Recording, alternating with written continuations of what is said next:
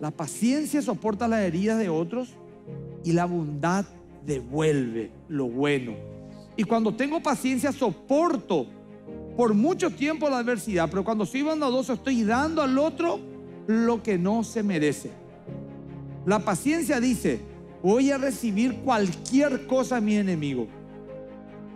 O dice, voy a recibir cualquier cosa de esta persona que me maltrata, eh, que me ofende, que me difama. Como cristiano me paro firme. Pero el apóstol te dice, anda un poco más allá, sé bondadoso, o sea, dale todo lo que necesita al que no se merece. Y ahí gente chocamos con una muralla enorme. La muralla llamada corazón duro, la muralla llamada carnalidad.